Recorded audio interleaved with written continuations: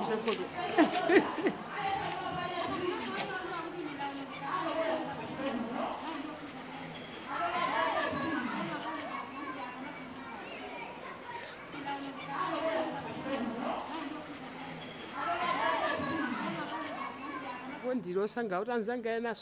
You know, it's very good to protect the child because when the husband and the wife, all of you, are HIV positive, it's better to protect the unborn child so that at least she or he has a better life than what you have.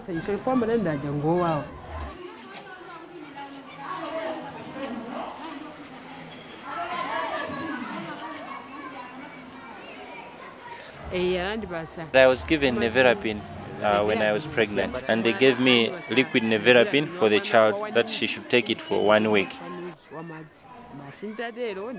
After that time, I go with my child to the clinic more often for checkups. Maybe at some point, the tests at the beginning weren't correct, so I go for to the hospital for her to be checked.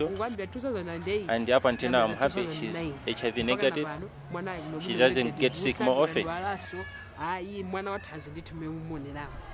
You know, I'm quite happy. I did not have any child before. This is my first child.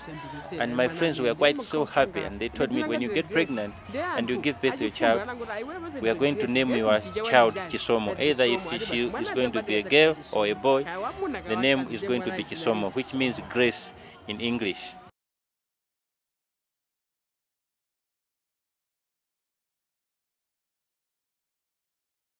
Free future generations from HIV. If you sign up, we can make it happen on bornhivfree.org.